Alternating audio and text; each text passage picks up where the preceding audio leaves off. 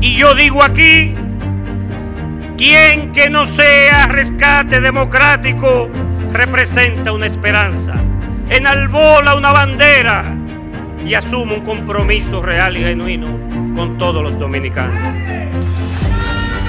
¿Quién, señores? Pero díganme quién en este país le dice al pan, pan y al vino, vino.